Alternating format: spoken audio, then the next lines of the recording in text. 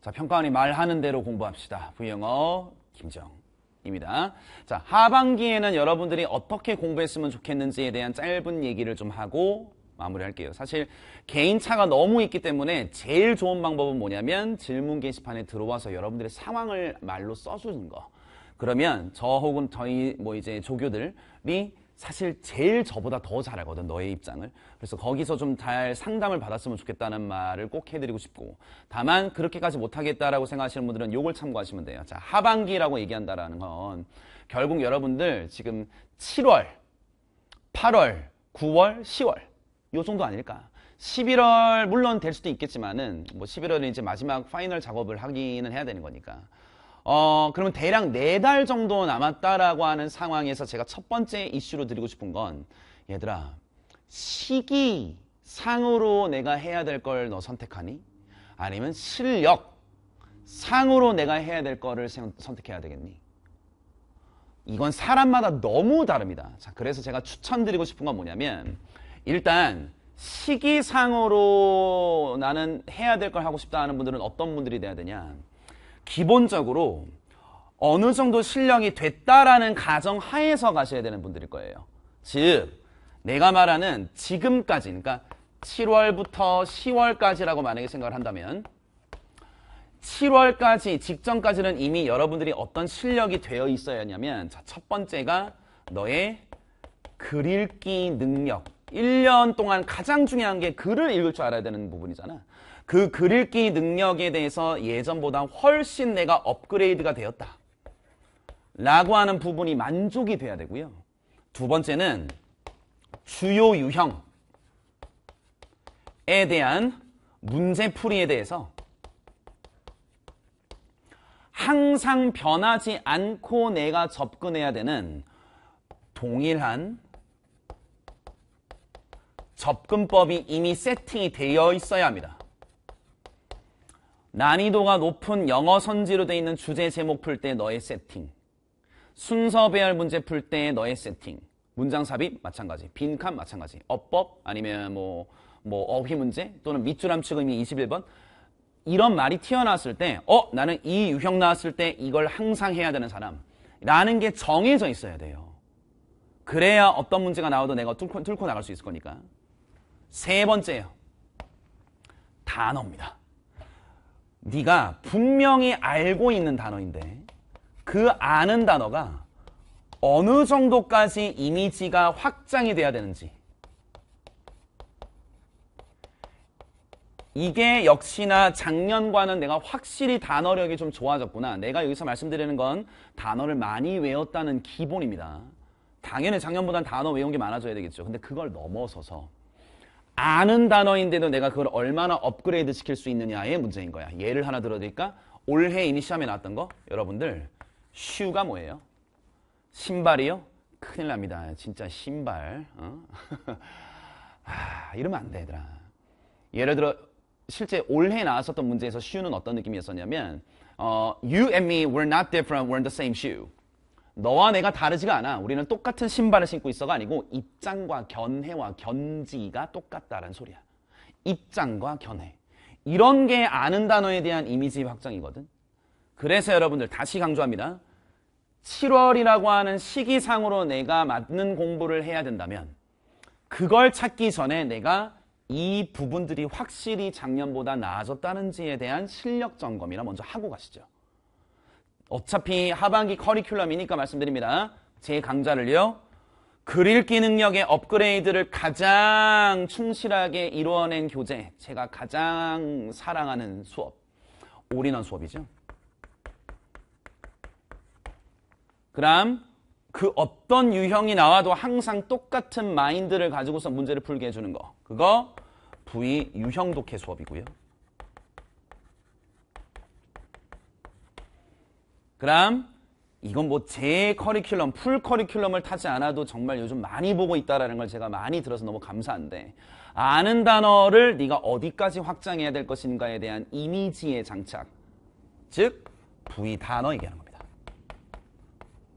자 정리해서 말씀드립니다. 만약에 특히 반수생분들 이런 분들은 마음이 급하다고 해가지고 그냥 기출만 많이 풀면 되겠지 큰일 납니다. 6월 평가원 지금 결론 나왔죠? 1등급 인원이 1.47%인가? 그냥 푼다고 될 일이 아니야. 어떻게 푸는지에 대한 반복이 돼야 그래도 어려워도 뚫어낸다니까. 그런 분들은요, 중간에 막 문제만 풀려고 하지 마시고, 아무리 못해도 이 세 개만이라도 하세요. 됐니, 여러분들? 뭐, 보니까 이제 유튜브 이런 데서도 제가 모르는 채널에 제 뭐, 뭐 이렇게 나와 있는 제 영상을 제가 우연히 본 적이 있는데, 거기서도 그분이 그러더만, 김재영은 요 세 개만 해도 굉장하다. 라는 얘기를 해서 내가 또 마음속으로 고마워했고 댓글을 못 달았는데, 너무 좀 그렇잖아요. 그래서 다시 강조드리지만 중간에 갑자기 합류된 분들은 요 세 가지는 반드시 하시면서 가면 좋겠다. 됐죠? 어, 뭐 하나만 더 말씀드리면 사실 V 단어 같은 경우는요. 이건 시간 투자가 그리 많이 안 돼도 효력이 좀 센 놈이에요. 이건 밥 먹을 때 들어도 됩니다. 밥 먹을 때. 그래서 너의 공부의 시간은 요 놈과 요 놈에 집중을 많이 하시는 게 좋아요. 그래도 좀 시기를 시간을 좀 정해드리면 요거 있잖아 얘들아. 어, 일주일 단위로 봤었을 때 하루에 한 강 정도. 그렇다고 주말까지 하라고 난 얘기 안 할게. 한 다섯 강? 네 강에서 다섯 강 정도 하시면 좋겠고 얘도 마찬가지입니다. 하루에 한 강 정도 해서 한 네 강에서 다섯 강 정도 하시면 이거 다 끝나면 약간 여유가 생겨요. 그러면 여기에서 여러분들이 취사 선택해가지고 할 수 있는 것들이 생겨. 됐지? 자, 다음. 나는 이미 뭐 굳이 이걸 안 했다라고 해도 내 글읽기와 문제풀이에 대한 확실한 패턴과 단어도 분명히 나는 어느 정도 돼 있다. 라는 실력이 어느 정도 되어 있으면 당연히 이젠 여러분들 이쪽으로 가는 게 맞아요. 그러니까 시기상으로 여러분들이 가셔야 될 건 당연히 뭘 거냐면 이미 이건 제가 캐스트 영상으로도 한번 만들어 드렸는데 무조건 디테일 챙기기. 에 관련된 강좌와 행동을 하셔야 됩니다. 그럼 디테일을 챙길 수 있는 강좌와 행동은 뭐냐? 지금 머릿속에 대표적으로 떠오르는 건 크게 두 가지. 첫 번째, 어, V 빈칸 수업이요. 두 번째, V 순서 삽입 수업이요. 왜 이 두 가지를 말씀드리냐면 빈 칸은 빈 칸만을 풀기 위한 강좌가 아니에요. 왜? 여러분들 주제 제목 요지 같은 문제 풀 때랑 빈칸 문제 풀 때랑 방식이 다르니 결국 글을 잘 읽어야 돼. 무슨 어디 발췌독해서 풀 수 있는 문제 시대는 끝났다니까 6평 1.47%라니까 하지 마. 발췌독하지 마. 제대로 글을 읽을 수 있는 여러 가지 요소 요소들이 자잘하게 숨어 있는 유형이 바로 빈칸이잖아. 그러니까 이걸 가지고 공부를 제대로 하면 빈칸을 푸는 방법도 배울 수 있는 것뿐만 아니라 다른 유형에 엄청나게 많이 영향을 미칠 거기 때문에 그래. 아주 짜잘한 것들인데도 신경 써야 되는 것들이 미친 듯이 많이 들어가 있습니다. 됐죠? 그리고 예. 요즘 난리 났죠. 이번 6월 평가 모의고사 1등급 1.47번인데 지금 오답률 1위 먹었던 거 36번 ACB 아마 2등이 39번인가? 그리고 37번 순서 배열도 난리가 났고 하여튼 순서 삽입 얘는요. 요거 솔직히 말씀드릴게요. 실력상으로 약간 안 되는 분들도 순서 삽입은 가능합니다. 왜냐하면 순서 삽입 강좌는 이전에 기존의 선수 강좌, 기존에 했었던 강좌 없이 독립적으로 들어도 큰 무리가 없어요. 왜냐? 얘는 완전히 이놈만 문제풀이 위주로만 가거든. 그리고 얘는 수업빨이 좀 세요. 수업빨. 그러니까 들으면 바로바로 바로 느낄 수 있는 녀석들이 되게 많아. 근데 여기에도 엄청난 디테일한 짜잘한 것들이 숨어져 있습니다. 그냥 이렇게 풀면 되는구나가 아니고 오 요런 걸 못 잡으면 틀리네. 아 요런 걸 못 잡으면 틀리네. 라는 작은 것들이 들어가 있어. 그래서 지금부터 시기상으로는 여러분들 당연히 디테일을 챙겨야 될 시기입니다. 그 두 가지가 이 수업이 될 거라고 보시면 되겠고. 그리고 중간중간에 여러분들이 하시면 좋겠다라는 건 당연히 V 파이널의 스피드요. final 강좌입니다. V speed는 자, 요거는 어떤 분들에게 제가 추천드릴 수 있냐면 저는 강의 들을 시간이 그렇게 많지 않고 굳이 처음부터 일일이 다 설명드리는 건 좀 너무 나는 힘드니 그냥 중요한 포인트만 짧게만 얘기하고 넘어가 주세요. 라고 하는 분들 에이, 이 수업 가시면 돼요. 이미 개강돼 있고요. 어, 말 그대로 수업 명이 V 스피드잖아, 얘들아. 그래서 수업을 내가 어떻게 진행하냐면 보통은 한 문제 가지고선 제가 20분, 30분을 끌어요. 왜냐하면 그 안에 수많은 것들을 다 끄집어내기 위해서. 그러나 V스피드는 한 문제에 5분, 한 2분 걸리는 것도 있어. 그래서 한 강좌, 한 강에 12문제짜리 한 정도가 들어가는 강도 있을 거예요. 그러니까 빠르게 빠르게 포인트만 치고 넘어가는 분들이 그런 문제들이니까 나는 강의 들을 시간이 진짜 지겹, 주, 그러니까 죽을 만큼 없다. 그분들은 일로 가셔도 상관없습니다. 괜찮죠? 그리고 마지막 작년에 처음 제가 출시했는데 다 완판됐고 꽤 지금 많이 말이 많이 돌고 있는 제 V 모의고사요.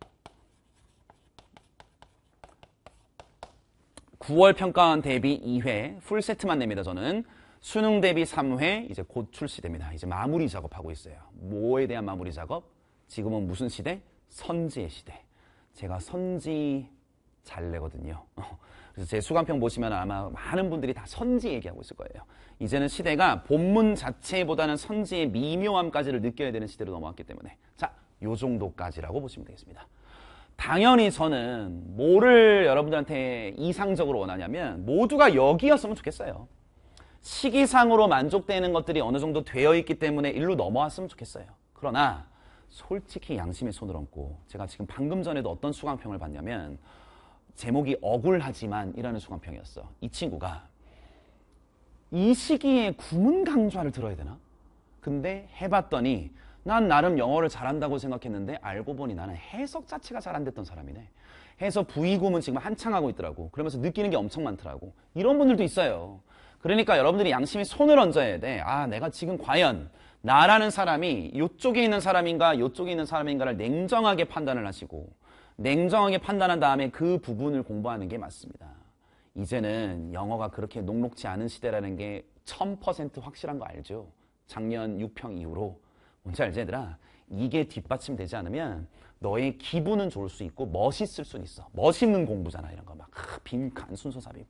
근데 실질적으로 그 멋있는 건 다 나중에 뽀록 나게 돼 있습니다. 어디서?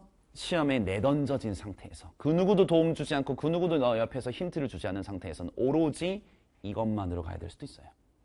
됐지들아? 그래서 저는 이상적으로는 일로 갔으면 좋겠습니다만 현실적으로는 여러분들이 빨리 요거 판단을 하고 넘어왔으면 좋겠습니다. 됐죠? 네, 하반기는 뭐 이렇게 좀 진행이 된다라고 보시면 되겠고 그 이외에 더 구체적인 사항들은 말씀드린 것처럼 질문 게시판에서 얘기를 해주시면 좋겠습니다. 김정희였습니다.